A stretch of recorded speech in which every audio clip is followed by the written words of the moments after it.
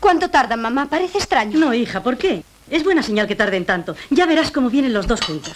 ¿Verdad que papá y Miguel parecen dos enamorados? Son iguales, hija, completamente iguales. Pues lo siento por Miguel. Piluca. La verdad es que mal pelo va a echar mi hermano siendo así. Pero mujer, tu padre es un hombre ejemplar. Yo a papá le compadezco. Es mi padre y le compadezco. Quisiera que fuera de otra forma. Y tú también, no me digas que no.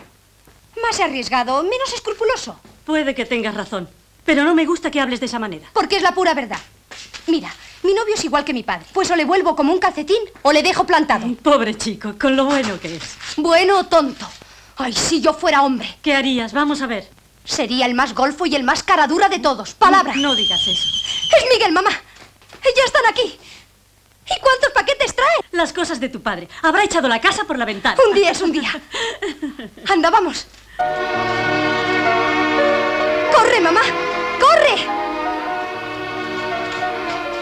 Sobresaliente, Pilar. Nos han dado ¡Qué asco! sobresaliente. Eres un pelmazo, hermanito. Siempre lo mismo. No le hagas caso a esta loca y dame un beso, hijo. Mamá. ¡Qué alegría, hijo! ¡Qué alegría! Va, sin sentimentalismos, que es muy tarde y yo tengo un hambre terrible. Vosotros dos a poneros frescos y tú y yo a la cocina. Venga. es lo mejor. Y junto a ti, qué bonito, qué bonito es. Todo el mundo, todo el mundo quiere que esté. Al escuchar la batería, con su ritmo de alegría, No lo aguanto. Si eso siguen así, me voy a mi casa. Mujer, que te van a oír. Es igual. Me están poniendo mala con tantos golpecitos, palmaditas, mordisquitos. Alejandro no se puede estar quieto, ya lo sabes. Anda siempre así con todas. Es ella. En los dos meses que ha estado en París se le ha pegado lo peor. La culpa es de ella. ¿Pero qué hacen esos? ¿No estaríamos mejor todos juntos? Imposible, es una reunión confidencial, solo para hombres. ¿Ay? ¿Y tú qué eres? Además de tu novio, un escéptico, me sé de memoria todos los rollos de... ¡Madison! ¡Doble cruce! ¡Madison! ¡Madison T! Pero bueno, estamos bailando a oscuras. ¿Por qué no encienden la luz? Así está todo más íntimo, más sentimental. Y más oscuro. Ten cuidado, no te des un golpe con el pico de algún mueble. Suéltame. Eres un antipático, un soso, un aburrido. Bueno, pero no un aprovechado como otros. Piluca, yo te besaré cuando tú quieras. Pero a la luz del sol, que es lo bueno. No me gustan las complicaciones colectivas. ¿Te parece mal? No, Juanito. Eres un chico increíble. Te lo aseguro. no lo conseguirás porque siempre mi amor Me ha dicho Juanito que le parece estupendo que vayamos a veranear a Benicassim. ¿A que no sabéis por qué? Tú dirás, alguna tontería de Juanito seguramente. Dice que Castellón es una ciudad muy culta, con muy buenas librerías, y que en una de ellas te pone música y todo para amenizarte el rato. Ese Juanito es un muchacho muy sensato. ¿Sensato? Un pasmarote. Le he preguntado si en Castellón hay salas de fiestas, y me ha contestado que esas cosas están fuera de su jurisdicción. Estupendo, ¿no? Esta chica no aprenderá nunca. Le tengo dicho que no ponga nada encima de la nevera porque se raya y como si le hablara en chino. Pero mamá, si no lleva más que un día en casa. ¿Y te parece poco? Me dijeron que era una alhaja. Ahí viene. Deje las croquetas aquí, Julia. Sí, señora. Y vaya aliñando la ensalada. ¿Sabe usted cómo? Sí, señora, ¿cómo no he de saberlo? Recoja los platos, por favor.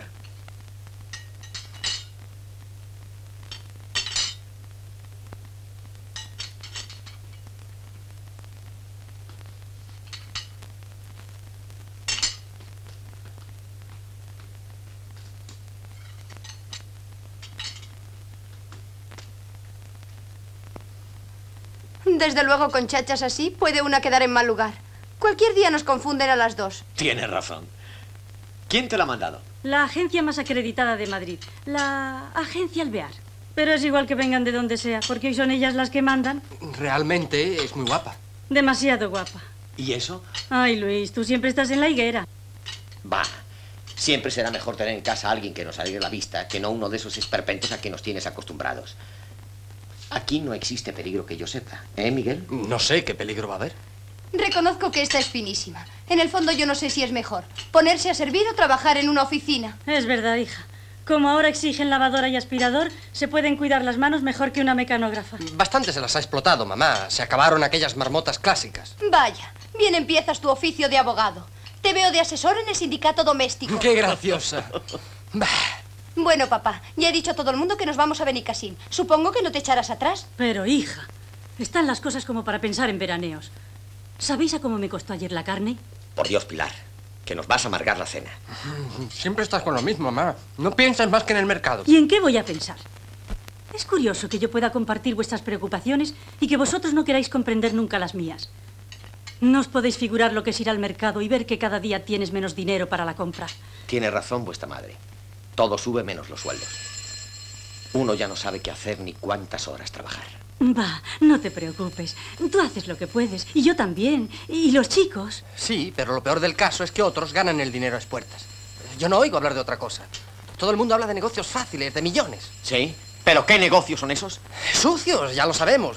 Pero los hace todo el que puede, papá. Orden, orden, que nos estamos saliendo del tema principal. ¿Hay veraneo o no hay veraneo? Señor, es para usted, de parte del señor Salazar. Mira, uno que lo pasa de miedo. Y entró en el banco después que tu padre. Claro que Salazar. Salazar no pasará nunca apuros, mamá. Ese sí que sabe vivir.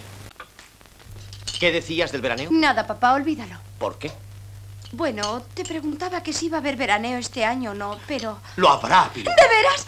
¡Qué ricura eres, papá! ¿Cuándo nos marchamos? El día uno. Se acabó el mercado, mamá. A ti no te divierte, ¿verdad? Mucho. Ya lo ves. Ya sé lo que te pasa. Cristina se irá a San Sebastián como todos los años, ¿no es eso? No se puede tener una novia tan elegante, ¿verdad, papá?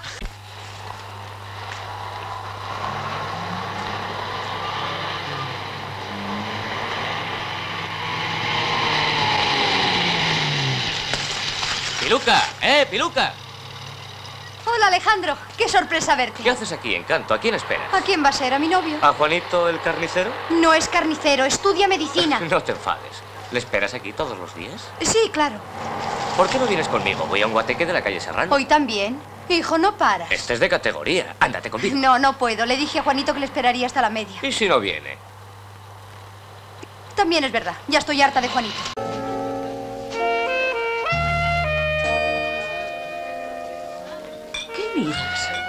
Perdona un momento. ¿Qué haces aquí? Pues lo que haces tú, divertirme. ¿Y esa quién es? ¿Sabes que tienes un gusto estupendo? No seas cínica, Piluca. No te preocupes, no diré nada en casa. Silencio por silencio. Venga, vámonos de aquí. Pero bueno, ¿es que he cometido algún crimen? No creo que la cosa sea para tanto. ¿Y tú ya conoces a Alejandro? Ya lo creo que le conozco. Y también conozco a Juanito. ¿Dónde está? Estudiando, supongo. Como él no quiere divertirse, le he pedido a Alejandro que me trajese aquí. ¿Y no ha venido también? Ten cuidado, Miguel. ¿De qué voy a tener? Ya nos veremos. Si todas estas tontas supieran lo que eres. Miguel. Perdona, Merche. L- Luego iré a verte.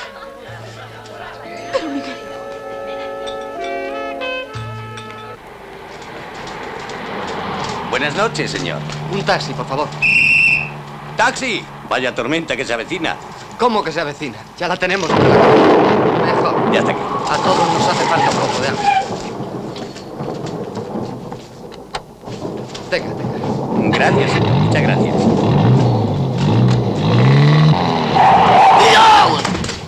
¡Animal! El animal lo serás tú. Hay que mirar, no se puede ir por la calle volando. A ver, déjame paz, venao. El venado lo será tu padre, ladrón.